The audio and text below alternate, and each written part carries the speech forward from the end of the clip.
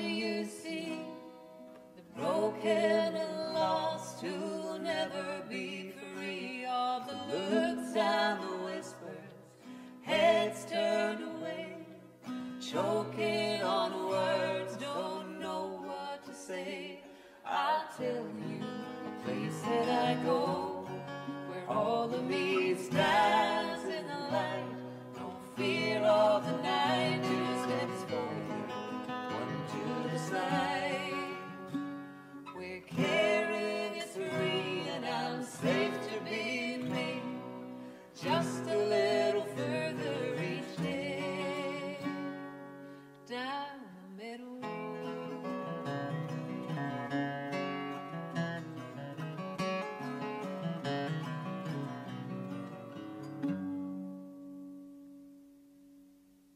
My name's Kathleen Cronie, and I was delighted to take on the role as tour guide during the Up the Middle Road project.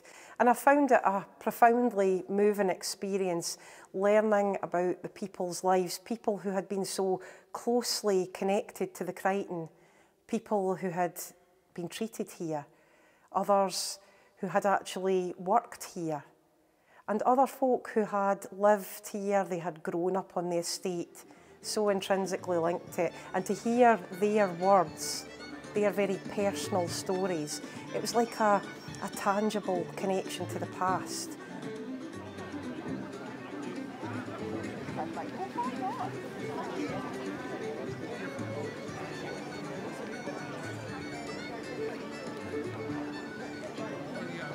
here we are at the Crichton Estate, the heart of an absolutely beautiful environment, a place that has got a very powerful feeling of sanctuary, somewhere where you can come and retreat to amazing gardens, beautiful trees and flowers, and of course very much characterised by these rich, warm sandstone buildings, none more beautiful than the Crichton Memorial Church.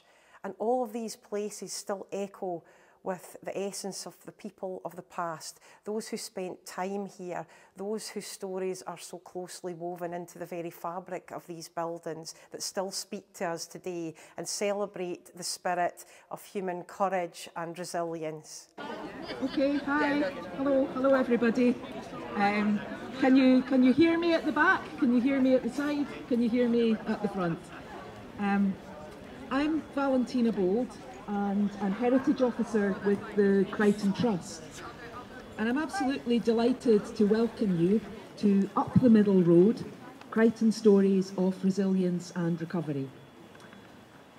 For the past two years, I've been recording people who remember the Crichton as it was, as long and short-term patients, as nurses, psychologists, psychiatrists, administrators, housekeepers, caterers, masters of works. And I've learned about families who lived here at the village for several generations. The Cannons, the Hoolistons, the Stranges, the Marchbanks, the Blacks, to name a few. The stories that you're about to hear are based on what they said. A few, with permission, are quoted directly. Many of the people that I've talked with are here. Some I recognise, as we talked here or spoke by Zoom. Others I know only by voice, because we talked over the pandemic by phone. And if you are one of these people, please come and say hello at the end. I'll recognise your voice, even if I don't if I don't know your faces yet. So that would be lovely. And thank you, all of you, for generously sharing your time and your knowledge to make what you're about to hear possible. Now, the title of this work is taken from the local name for the Crichton. John McQueen, who was first a patient and later an undertaker here, described it to me in these words. Most people knew about the Crichton. You could go up the top way, Easterbrook Hall, or down the bottom end where the main gate is to the Solway, and one up to the Crichton. It was, oh, you're going the middle road. Well, you'd go up there, but you'd be half daft, quite mad. That was the prevailing thought. I think there's still some people like that about it. When I went up the middle road, it was terrible. Not for me, but you know, everybody will talk about me, how bad it was. For some people, the Crichton was bad, but for many, it was a place of sanctuary and asylum, and our stories communicate both these experiences. There's at least one story that you might find difficult to listen to, and we'll warn you about that beforehand. Please feel free to withdraw at any time, and if you wish, to return later. Our mental health first aider, Emma Scott, who is over here, is here to support you if you need her. Please feel free to make yourself known to her or um, to approach one of our apprentices, Dan, who is on sound, and Zeph, who is looking out at the side there. And they're both there to help you, as are our volunteers who you can see wearing um, the t-shirts with the Crichton uh, motto on it, God send grace. The performance is in two halves, each with a pause point and one longer stop. And at the long stops, you'll be treated to new songs from Emily Smith and Jamie McClennan, and new stories from Amanda Edmiston. And theirs are creative responses. They capture the essence of people's experiences in new forms, staying respectful to the original, diverse stories. We hope you'll enjoy them. In between, it was our intention that you would tour with Kathleen Cronie of Mostly Ghostly, but unfortunately, Kathleen's ill. So I'll do my best, with Amanda's help, to fulfil her role. And please bear with us and forgive the fact that we're using notes, which Kathleen wouldn't do, but we needed to do a very quick script rewrite and we haven't learned it, so just bear with us on that. In terms of housekeeping, there are toilets at Easterbrook Hall, at Crichton Church and here at Crichton Central, and there will be a chance to use these at the interval. Should you require access during the performance, just let us know. Most of the performance is going to be out of doors. The walking sections of the tour last between 5 and 10 minutes, and if you have mobility issues or start to tire, let us know. We have the taxi on hand, which should be here any minute. Um, Zeph's just waiting for it. and that taxi can carry you between the, the points where we're pausing, no, no problem. So just let us know if you would like a, a, a lift. We'd be grateful because of the COVID situation at the moment if you could keep social distance between your own party and, and others. Most of, it, most of this is outdoors, so it's, it's pretty safe. But at the end, we're going to be going inside Crichton Church. And we would ask you, unless you were previously exempt, which is fine, to, to wear a mask if you can. We've got boxes of them in there, just for that section of the performance where we'll be indoors. And there's a small exhibition in the church as well. There'll be a short interval where you can pick up your free um, ticket price included can of juice, which will be served by the former catering manager at the Crichton, David Matheson, over here who will be ably assisted by Ian Body, who trained as a mental health nurse here in the, in the 1970s and ended as general manager of mental health, and Yvonne Sterling, who is over there. And Yvonne started here as a cadet nurse in the 1960s and finished as assistant director of nursing services. And they all contributed memories, and I'm very grateful to them as well as for their drinks um, abilities too. Um, finally, I'd like to thank our funders, Scotland's Year of Stories 2022's Community Fund, supported by Museum Galleries Scotland, the Heritage Lottery Foundation and Event Scotland, Creative Scotland, the Crichton Foundation and the Archie Sutter Watt Trust. We will be um, filming parts of the um, event today and a link for that will be available. So please put your phone in silent and let us film for you because that will be online later. But what I really wanted to say at this point is that stories are, I firmly believe, the best way to understand a significant place and what happened here. We're hoping that listening while we tour will go some way to dispelling the stigmas that are still held around mental ill health. These are truly stories of resilience and recovery. We hope you'll enjoy them. I'll pass over to Amanda now.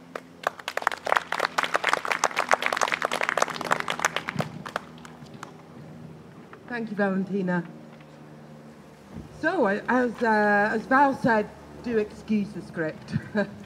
um, we're gathered here at Crichton Central, on the edge of the Crichton Royal Estate, to journey through stories of real people. The Crichton was a community with its own farm, shop, swimming pool and playing fields. There were over a thousand staff and a huge number of patients. Everyone knew everyone else. Crichton Central was formerly known as Criffel View. People with learning disabilities were treated here. And across the car park, over, over this side, stands the sandstone building of Eskdale, which uh, once housed the adolescent unit. Eskdale focused on the outdoors and creative approaches to education, including art therapy. A former patient, Peter, remembered making really firm friendships there and picking strawberries for pocket money. He took comfort from a silver coin given to him by another child. Sadly, he lost the coin, and uh, maybe, well, who knows? Maybe that bit of treasure is still here. To the right of Eskdale, if you can see beyond the buildings, are Ladyfield East and West, where children under 12 were supported. And then across the road, Hannahfield provided care for the very youngest patients, even babies.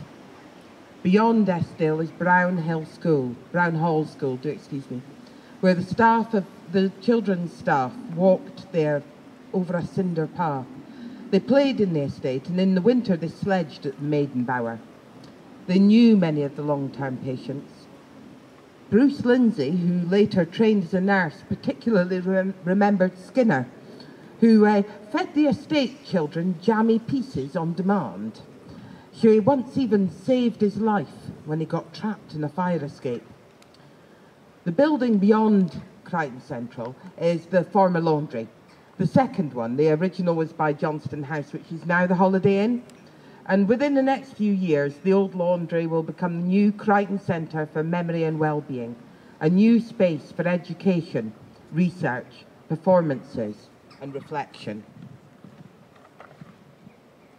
Behind us, this wonderful building with the clock tower is the Solway Industrial Unit, where uh, patients were worked for therapy, where they were paid nominal wages and uh, took part in picture framing, toy making and printing. Crichton staff had their wedding invitations printed there too. One former nurse, Rab Wilson, recalled it was cheaper than the printer in town and just as lovely, with embossed paper and gilt writing, made by people, he said, who took real satisfaction in producing their work. Beyond Sol Solway sat the farm, where the estate produced its own food and it is still there, but now it's part of Scotland's Rural College. There are many stories we could tell, but before we leave Solway, I'd just like to mention a couple in particular. In the 1940s, Brian Strange, whose father was the Master of Works, had a job as a child. His job was to wind the clock there in the tower every morning. Senior staff, like his father, had a patient to help them round the house. Brian himself went on to serve his apprenticeship here. At Solway House, the beginning of the working day, if you can imagine, was heralded by a loud hooter. We're standing here now at Heston, which was at one time a long stay hostel ward. Later, it became the alcohol unit, which moved here from Glencairn. The alcohol unit, under Dr. Cameron, moved away from a traditional all or nothing approach, as a former worker told me, to look at the reasons behind drinking with a view to changing behaviour.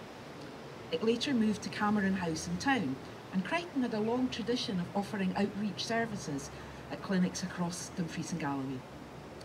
Galloway, which you would see behind me were it not for the very large um, hedge, but it's over there at the back, um, was a unit for elderly people at one time, and it's got a lot of good stories around it. Um, Many of the buildings at the Crichton are supposed to be haunted. Galloway is one of them. But one of the good stories is about Maxwell House, which we're not going to see tonight, but if you're back on the estate, look out for it. And Maxwell was supposed to be a house that had strange noises at night, um, and a lot of the night staff heard this. And it was believed to be the ghost of a former patient who walked three times around the space where there had been a snooker table up the stairs and then back down again. So that was heard by some of the night staff in that building. In terms of Galloway, um, Bruce Lindsay, who was here last night, um, which was lovely, told me about an elder, elderly patient with a memorable name. It was spelt D-E gap A-T-H. And she dressed in black and had white hair. And in a deep voice, she would introduce herself as Lady Death. She had this belief, he told me, that she was Lady Death. People came from, to the Crichton from far and wide to work and for treatments too, from North and South America, across Europe and over the border too. Um, Sir Martin Roth, for instance, was an eminent psychiatrist at the Maudsley and then came up to work at the Crichton and later returned again to work in England. And he was invited to work here by Dr. Willi Mayer-Gross. Uh, Mayer-Gross had a reputation for bringing Jew Jewish members of staff here, particularly just prior to the Second World War. And together with Eliot Slater, who didn't actually work here, but Mayer, Gross and Roth wrote what became the standard textbook of science. As well as the elderly, the Crichton accommodated young people, pregnant teenager mothers, for instance, including a 16-year-old who came here from Canada on one occasion. And Yvonne Sterling remembered mothers coming in with postpartum psychosis, sometimes more than once. I know people say these days, she said, people didn't know about it then. Well, that's not true, we did. But some of the treatments here would probably not be carried out now. And I'd like to quote um, from Sandra, who was a, a trans woman treated here as an 11-year-old in the 1970s. Her story is hard to hear, but it's very important to tell.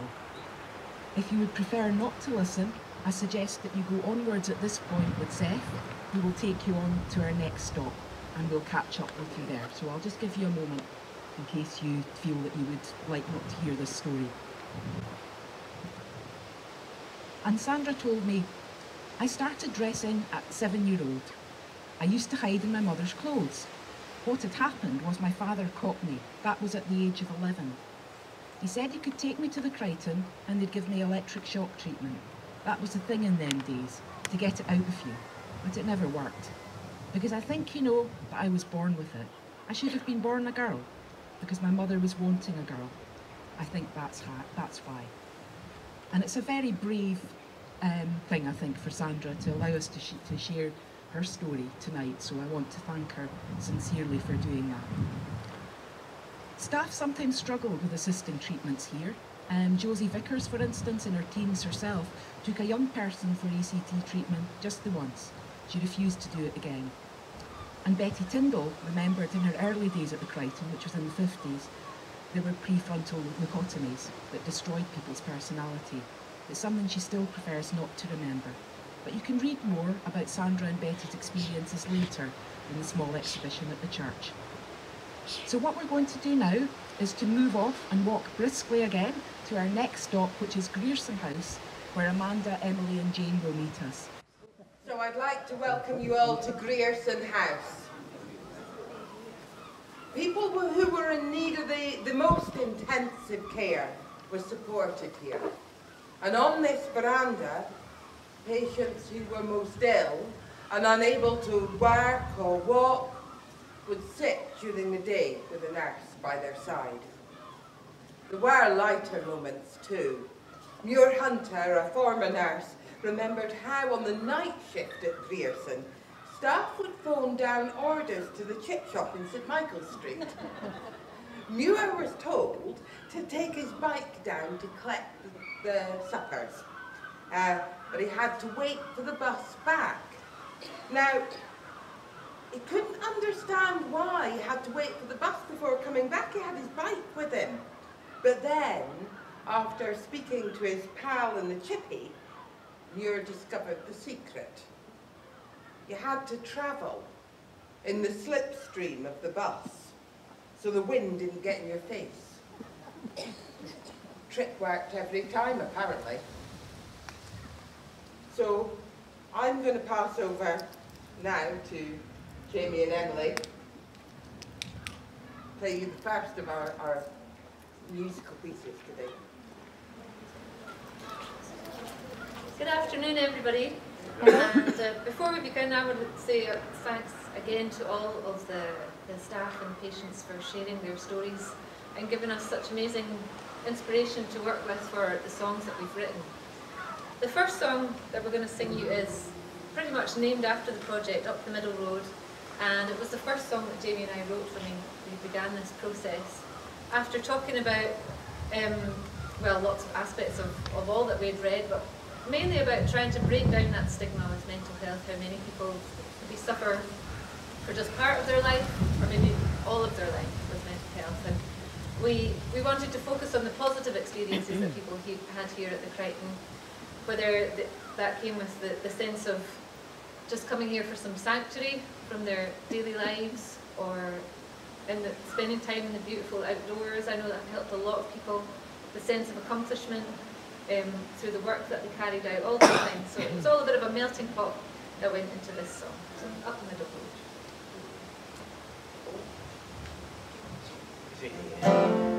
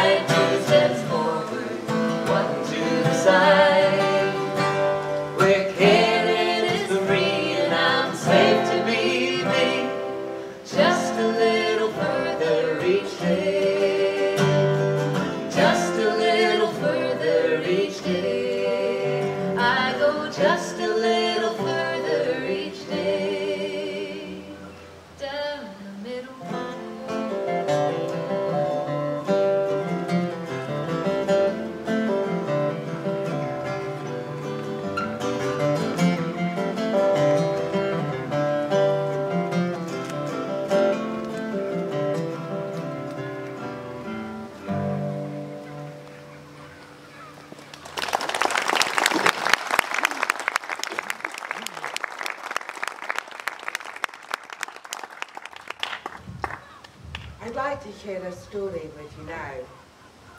It's a story about a boy called Jack. Now, I expect you've all heard stories about Jack before. A traveller's tale about a boy who could be anybody. It could be my brother. He could be yours. A boy who was happy some of the time, busy a lot of the time, but called him idle, and didn't see the value in the things that he chose to do. Jack liked to be outside. He was never, ever happy indoors. He liked to look up at the sky and watch the clouds roll across, weaving stories. He liked to be down by the river or in the woods. He was never, ever happy indoors. But one thing Jack loved more than anything were stories. Every day he would beg his mum to tell him a story. And there was one story Jack loved more than any other. It was the tale of a boy who sought the dark cloak. A pair of shoes, the shoes of swiftness, and an enchantment held within a silver coin. And when he found these objects, he had to choose between them. Now, Jack loved this bit of the story, and he knew the beginning so well, but he'd never heard the end. He and his mother were poor. She had to work really hard to make ends meet. And as soon as she sat down to tell Jack the story, well, something would call her away. The dishes would need washing, or her work needed her, or the baby started crying. And Jack never got to the end of the tale. He never found out that the cloak of darkness, the shoes of swiftness, and the coin of enchantment were really magical ways to describe health, wealth, and happiness. His mother never got to the end of the story, and she never spotted how much time Jack started to spend looking for these magical objects. She didn't notice that he didn't always make it into school. She sometimes didn't spot that he didn't come home at night. So intent was he on this search, seeking these objects that he was sure were going to bestow some kind of magic into his life. Jack spent day after day searching he began to find the four grey walls and four grey towers of his school more and more oppressive. The endless instruction, the demands made on him, it took to spending every day down by the river, down dark alleys, in woods and parks, outside, endlessly searching for the cloak the shoes, and the silver coin. He recalled words of a rhyme, maybe bits of a verse, maybe they were a riddle, maybe they held a clue. Over the river lie fields of barley and of rye that clothe the wold and touch the sky The words had an essence, and Jack felt sure that maybe a cloak of darkness could clothe a wold and reach the sky. A cloak of darkness would give him somewhere safe to hide, somewhere warm. He'd be able to escape all these voices that went on and on at him, telling him what to do. Willows whiten, aspens shiver, a shower of sunbeams break and quiver by the stream that runneth ever, with the islands in the river.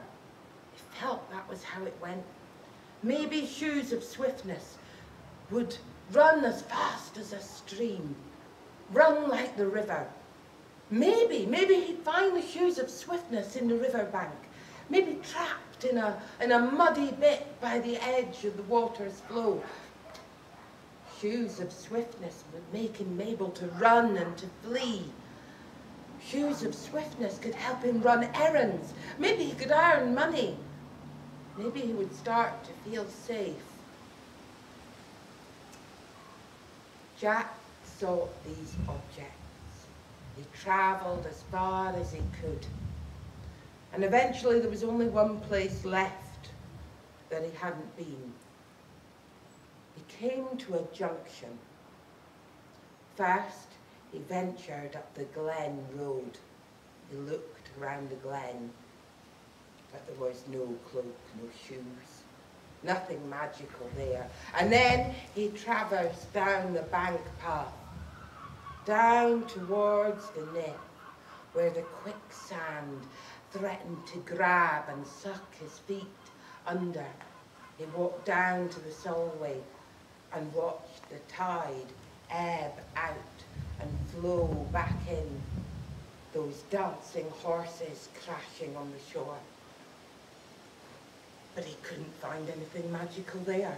And now tired and exhausted, he went back to the junction and he looked up the middle road, the only path he'd not searched up before.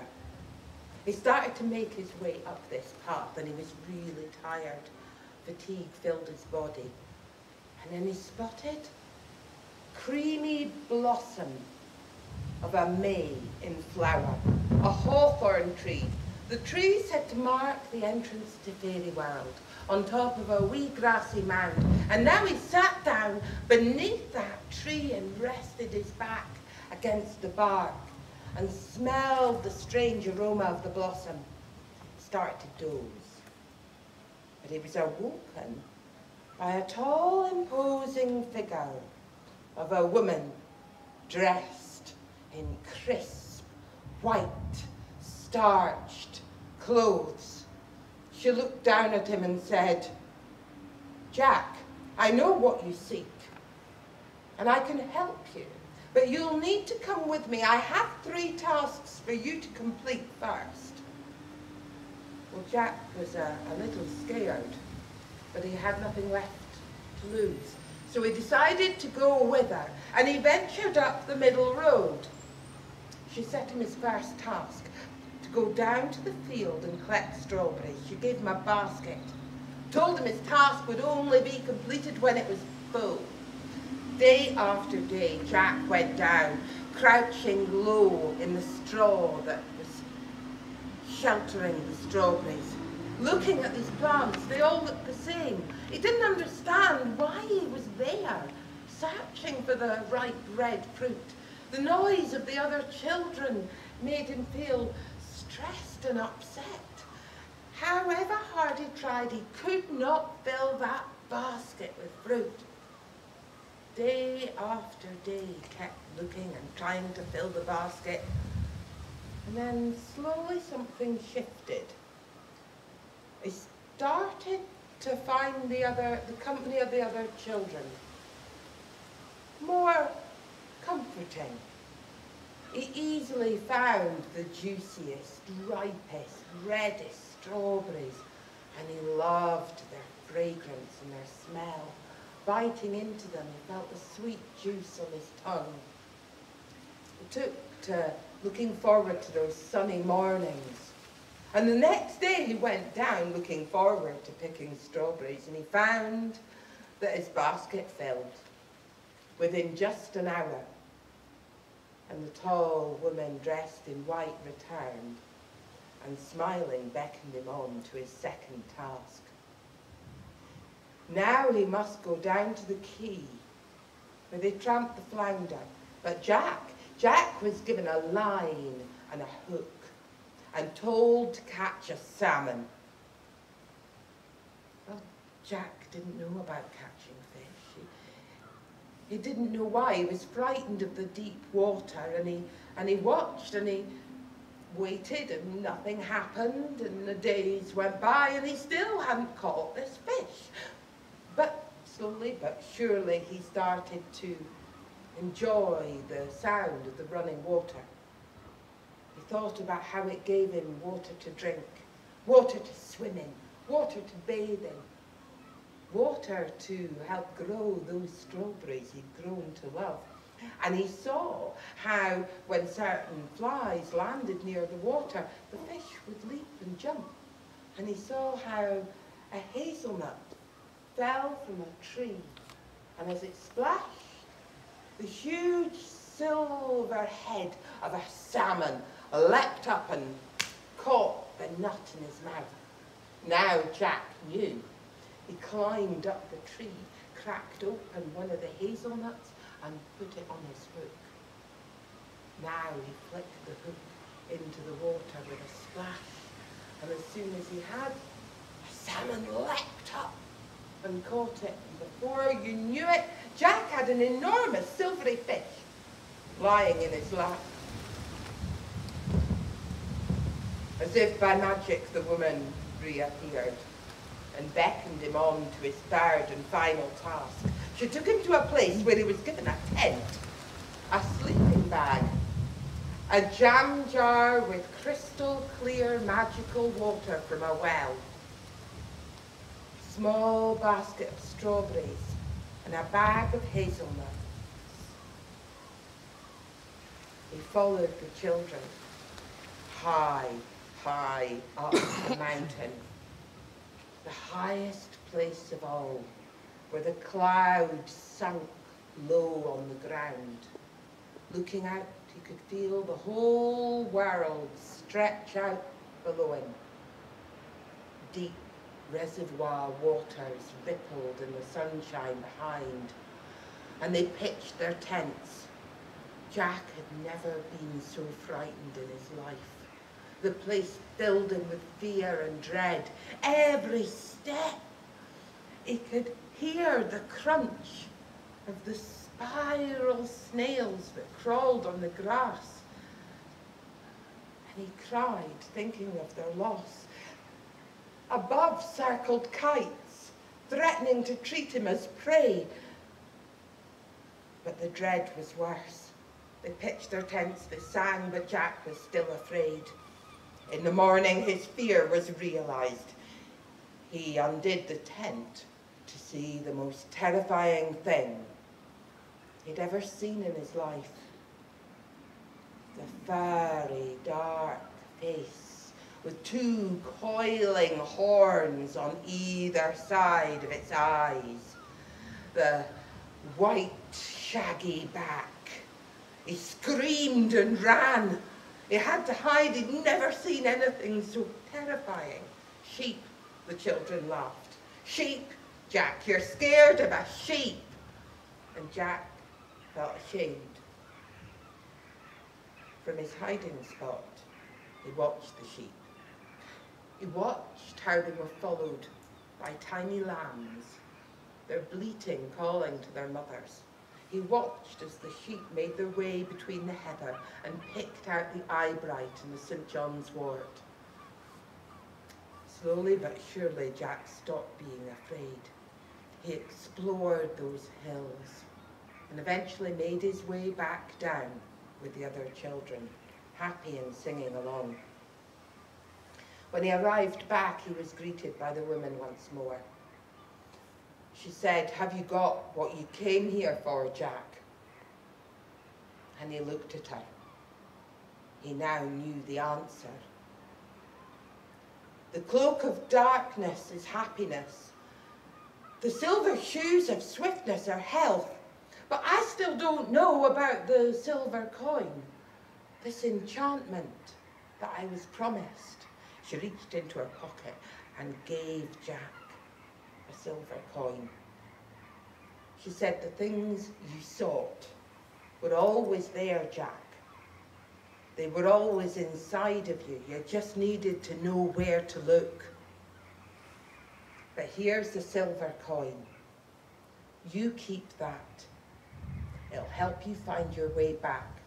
Because if you ever need us, we'll be here.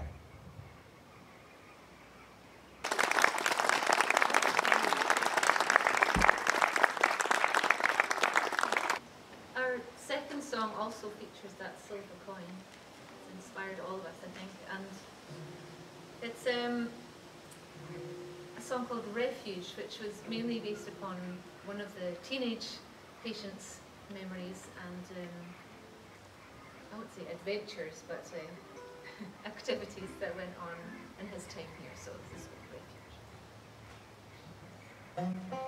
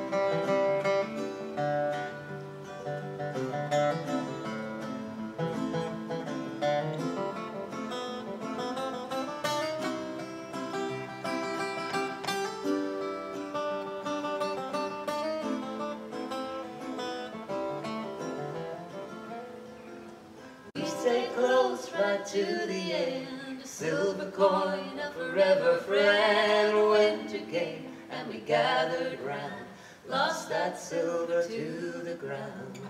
Searched in vain, but it was never found.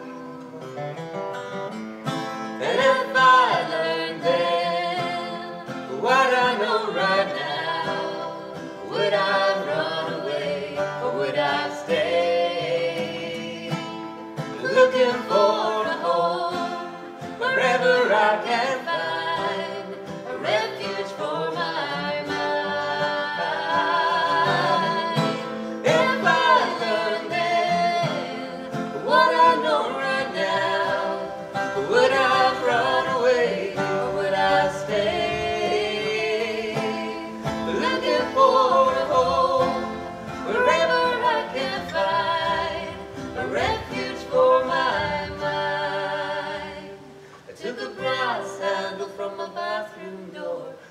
don't hang there anymore. Sold it cheap in an antique store. Showed me places I've not been before.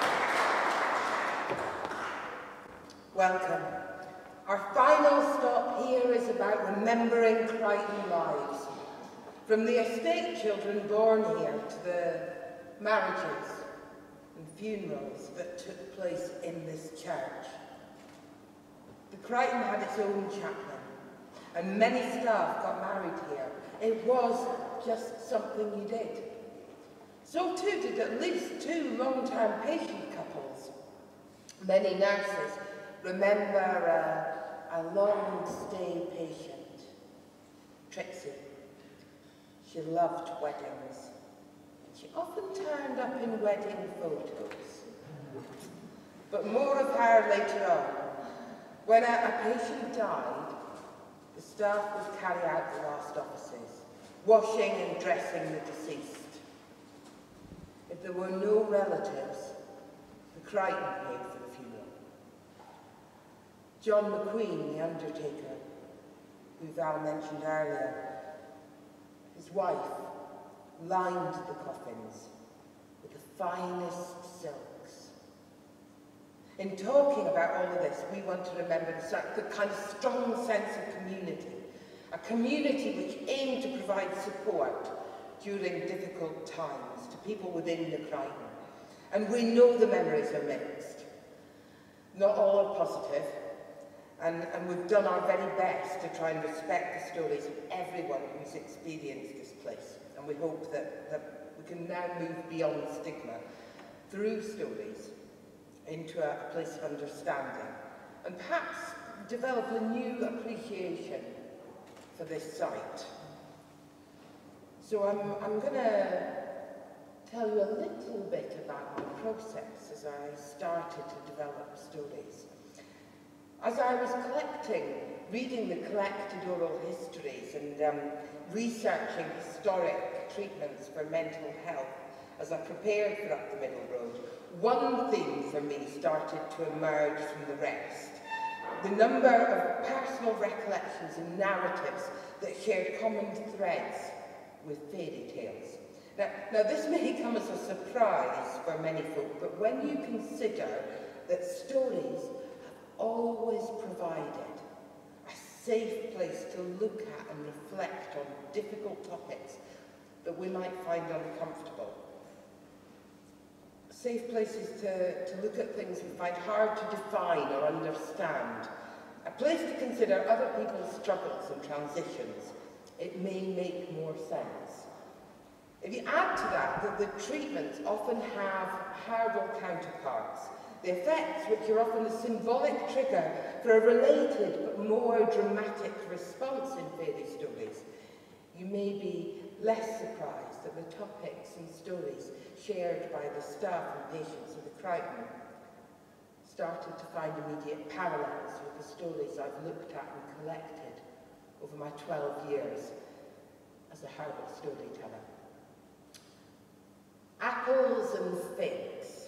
They appear quite often in Northern European and Jewish folk tales.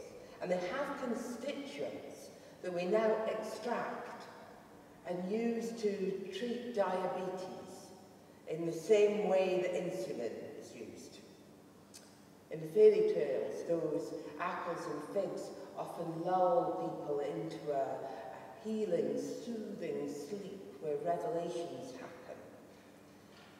insulin was used in a, a controversial, but at the time, groundbreaking treatment by Dr. Mayer-Gross for relieving the symptoms of schizophrenia. My story starts, however, with a young woman. She was drawn here. She travelled to learn to nurse here. a rarer thing in those days, but she was drawn to the high standard and reputation of the Crichton and then stayed because of the community feel and the groundbreaking work of the doctors. She could see the magic of the place, the beauty of the buildings, the safety of the landscape, the best practice observed here, surpassing the efforts of many others, and the positive impact on the people's lives who found their way up the middle road. No pathway leading to this place was the same, and she listened to the way poetry fell from the lips of Dr. Miller Mayer. She heard the thread of stories, starting to bond old fabrics in new ways and become new narratives, forming safety structures, parachute-like, to hold people as they fell. Caring for a young woman not far of her own age, a girl they'd said had had episodes before, but this time she'd been out laughing and drinking, misbehaving and had found herself expecting a baby without a husband's hand to hold, or so the story went. The girl told stories of how her mother was not her real mother, not her birth mother, a stepmother, she insisted, although the records showed otherwise. She hated her, the girl said. She'd grown jealous and wanted rid of her, although the mother regularly sent presents and letters inquiring after her daughter, gifts and asking when she would be fit to come home. The girl could not sleep as the baby cried. She could not sleep as the baby slept, and she grew wild and her episodes got worse. She said her mother had tried to kill her with a poison comb, sent her on errands into the snow to find strawberries out of season that she hoped she would never return from. The nurse tried to tell her stories and read her poems, her to draw, to paint, to garden, to grow, but she'd become distraught. And now they gave her a blood sugar balancing atom. As she bit into it, she claimed her mother had sent it and was trying to poison her. But then she slipped into a deep sleep, and they hoped she would work out her troubles as she dreamt. Meanwhile, mirror, mirror on the wall, who's the luckiest of them all? Our young nurse looked into a mirror and reflected on how fortunate she was. She'd met and fallen in love with a handsome young gardener that worked on the grounds. And now, as they walked and talked, holding hands as they strolled down the lime tree avenue, the tiliol scented blossoms falling confetti-like as they walked. Playing loves me, loves me not with the bruise-healing daisies that littered the lawn. As a world war raged on, the pair decided to be wed. But this was the era of make, do and mend. And uh, fabric was hard to come by. But she was gifted a parachute. And now she took it, and she washed, and she drew, and she cut, and she pinned. Taking a needle, she sewed, thread by thread, and then stepping out to a church the lawn. Every friend, every relative, they were sure I was invited, holding invitations made on site. Gold embossed invitations. Surely no one had been left out. But there at the back, a mysterious guest stood. A woman dressed glamorously, watching, smiling, thirty fairy-like, appearing as if by magic to grace the celebration. Away in the bungalow, another young woman awoke. They took a few days off just to be in love, turning over the wedding dress and finding a rent in the silk. Our young nurse once again washed the dress, took her tailor's chalk and her scissors. She drew, she cut, she pinned and sewed, and turned the dress into a fine dressing gown, one that fluttered and caressed her form as she walked down the stairs. Returning to work, washing those who trace the lines of recovery, drawing lines on charts monitoring their hopes, pinning a watch to a tunic.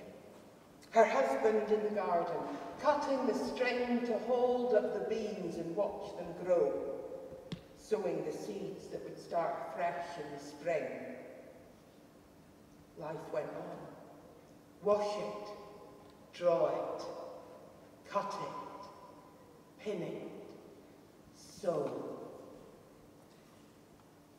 Nine months later, so beautiful did she look in that flowing dressing gown that her baby was born. Its chubby pink arms waving as it cooed in its crib. And now she pushed that pram along the avenue of lime trees, catching the eye of a young woman she had once helped to care for, pushing her pram, watching as a curiously familiar figure greeted that patient and put something into the baby's pram, a glimpse of silver, sparkling in the sunshine. As the mother and child departed, the woman walked on, and the familiar figure now came towards her.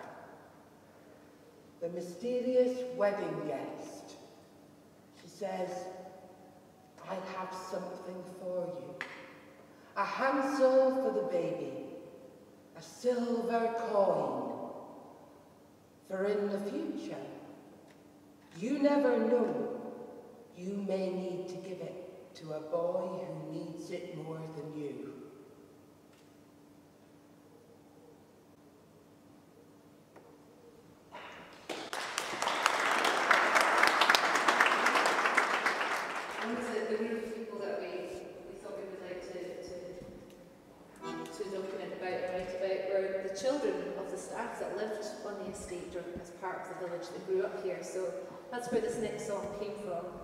Think it's now been named Estate Child. I had a very long, um, clunky title last night. It's so new, still in the process of being named. But um, so this is yeah from the from the eyes of a, a child who would have grown up here.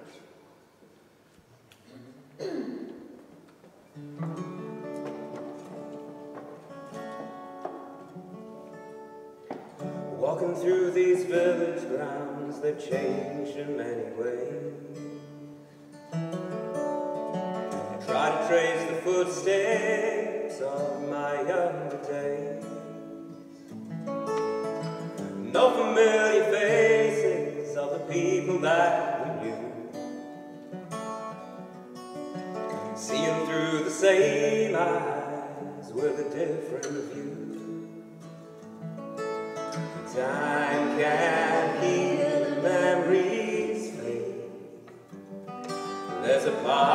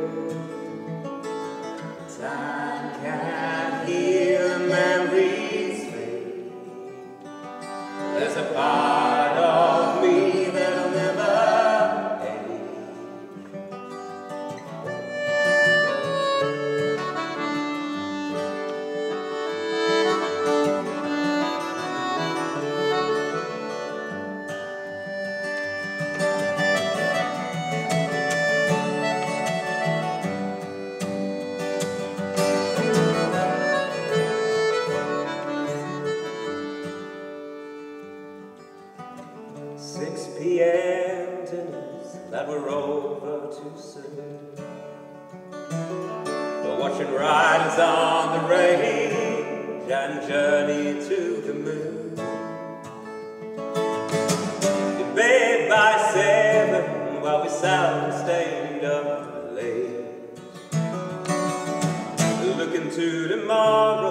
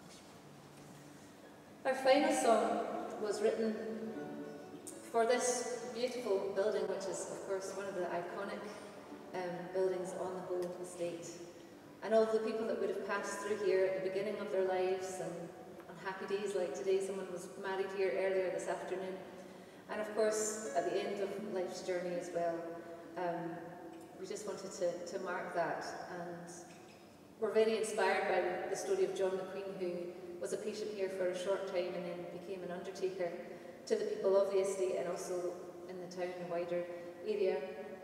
And of course with his wife um, who worked alongside him to look after those who had passed away. So this is our, our last song, it's called Carry Me.